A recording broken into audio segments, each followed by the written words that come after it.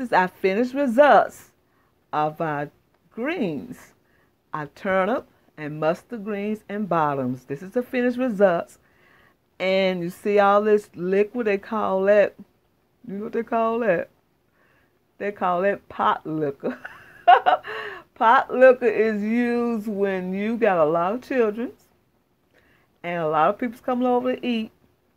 You get you a big piece of cornbread and put it in a bowl and put that pot liquor and these greens on top of there and one of these uh, turkey necks. Boy, that is good country eating. This is what this is. So those uh, bottoms are tender. The meat is tender.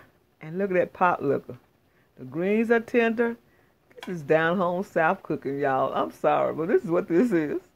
Okay, this is Sandra. Following this presentation, I will show you how to clean your greens, how to distinguish what to keep and what to discharge, and how to cook your turnip bottoms and how to clean them.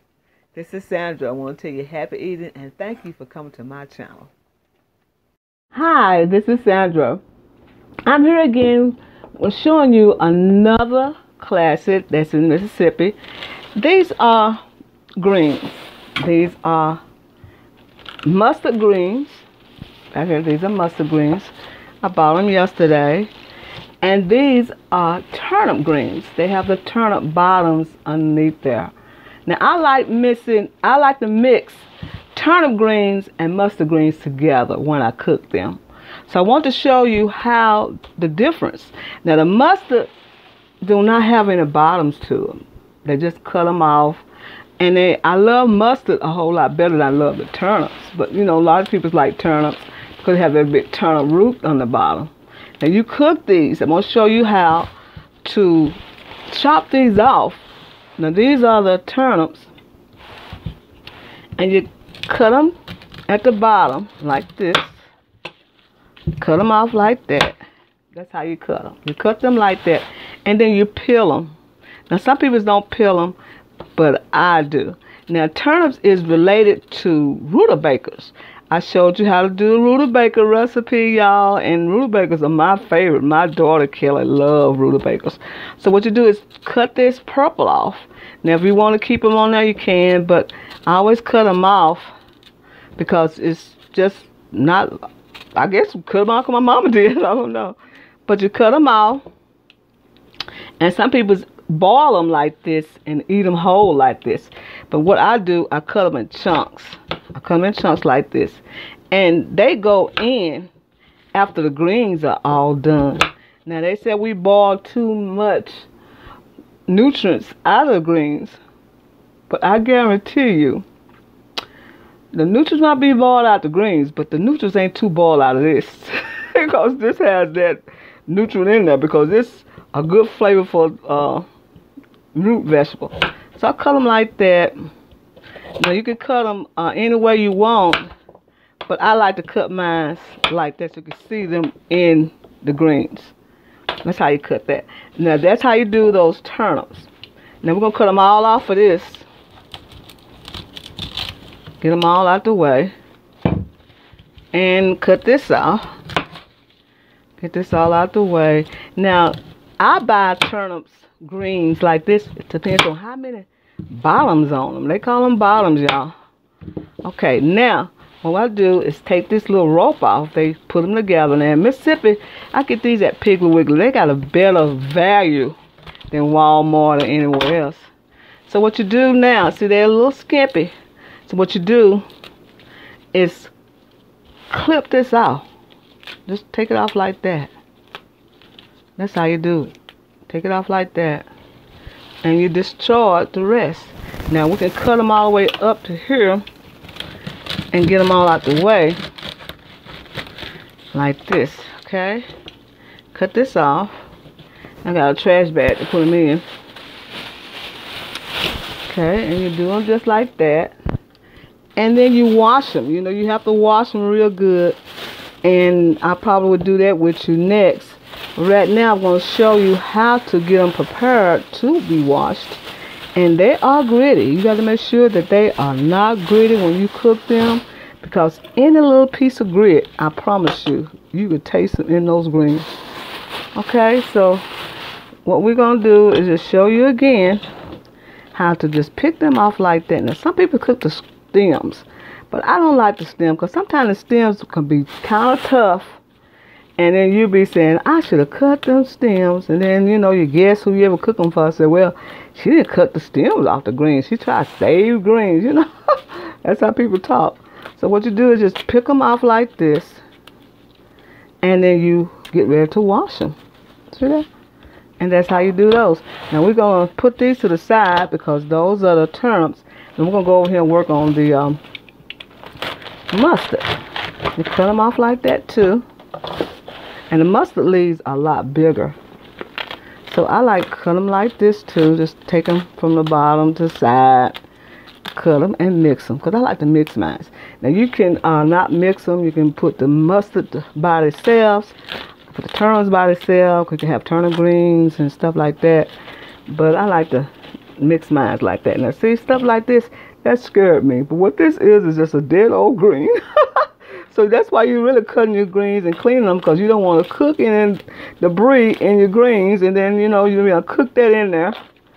So that's why you got to give them a good washing, a good picking.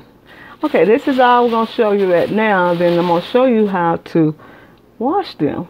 So this is one part of how you get your mustard, your bottoms, and how you get your turnip greens and your mustard greens. You know how your turnip greens look. Turnip greens look like this. They look like a little fan. Now see that right there? You don't cook that. You take that off. Take that off. Don't cook nothing yellow. I don't like nothing yellow. And then you cook the rest just like this. to cut them like that. And then by the time you get them all done, it's ready to clean them. We'll be right back and let you see how to clean these greens. Okay, I wash my greens on a wa running water. I wash them on running water because when you wash them on the running water, the, the dirt and the grit runs down the drain. I just do that until they feel clean. I don't know where, uh, why people do. Some people, you know, wash them with the sink full of water. But once you wash them like this, and the, the grit will run down the sink, and they won't adhere to your greens. So you rinse them like this, just like this. You whoosh them around so they can run, the grit can run off. You see how I hold that up there like that? There's no way grit gonna run and cling to that. Just switch them around and you know when they clean, they start squeaking a little bit. So just keep washing them until you feel like they are clean. And then you do your turnip bottom the same way. I let them soak. Oh, I let them soak. Just like that. And then I put the turnip bottoms in a different container because the turnip bottoms is going to be the last to cook in your greens. This is Sandra. I want to show you how I do now I clean my turnip and mustard. I leave the water running and the sink open so the water can run down the drain. This is Sandra. I want to say happy evening and thank you for coming to my channel. Get ready to show you how to season the, uh, the turnip and the mustard greens and the turnip bottoms. I'm going to use some smoked turkey necks. This is what they are. They are smoked just like the smoked meat, the pork meat, like the smoked ham hocks and the smoked bacon, the smoked jowl, and stuff like that. So they're smoked also. They have that redness in there like that. That's the smoke. Uh, the smoke gives it that color. And it gives it the flavor of smoke into your greens. So smoked turkey necks is what I'm going to use. I love these because they are so delicious. They and you can eat them. You know, you can't eat hardly eat a ham hock with all that grease and all that fat on them. But with these, you can eat these as the greens cook. So that's why I asked you to uh, try the smoked turkey necks, especially for those who have Christian belief not to eat any pork. So you can use smoked turkey necks to season your greens with. And this is what we're going to do. This is the boiling water. So I'm going to place these green, these smoked turkey. Look at that. Ain't that a big? Ooh, that's mine right there, y'all. Look how big that is. Ooh. I'm going to put that in the uh, water. Just like this. We're going to pour this into the water. And we're going to let this cook approximately one hour. Okay, now we're going to let the um, smoked turkey necks cook for an hour. So what we're going to do now, now it depends on what kind of spice that you want to put in your uh, greens. But I will use some canola oil, about one fourth cup of canola oil to give it some little richness so it can penetrate through those little um, turkey necks. And what we're going to do now, this is what we have here. We have a bag of greens and we have the turnip bombs. But the turnip bombs going to be last. We're not going to put them in with the greens.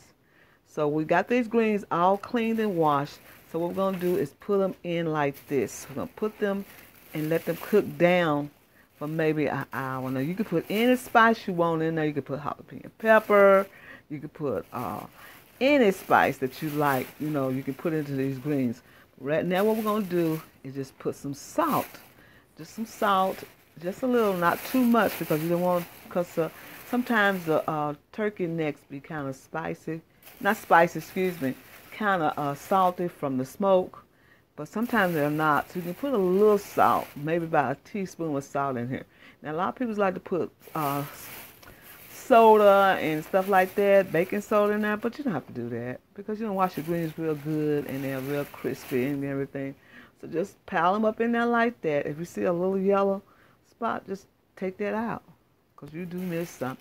And then what I want you to do, when you put your salt in, you know, if you keep keeping away from salt, don't use too much salt. Just put your salt in and then just put your top back on the greens and let them cook for about another hour. And then we're going to come back and put our turnip bottoms in there. These turnip bottoms going to be next. Okay? Okay, as you can see, they have boiled down. They are done, but you can add the turnip bottoms in now. Now I add the turnip bottoms in when they're done because I like my turnip bottoms to be done, not mushy. So I'm gonna let these cook about another 10 minutes with the turnip bottoms on, adding a little salt, just a little salt on them, just a little, not a lot, and let them cook down. And we will show you the finished results. Now this is how I cook my turnip mustard, and turnip bottoms. Now, a lot of people can cook them a different way, but this is the country way that I learned how to cook them to appreciate the southern taste of the greens. Now, you can saute these and you can put them in different dishes uncooked like this because they say we're boiling all the flavor out.